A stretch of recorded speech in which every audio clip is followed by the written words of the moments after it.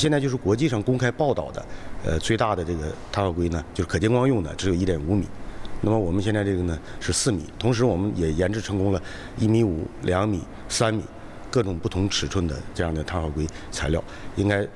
在我们很多国家的重大的任务当中已经得到了应用。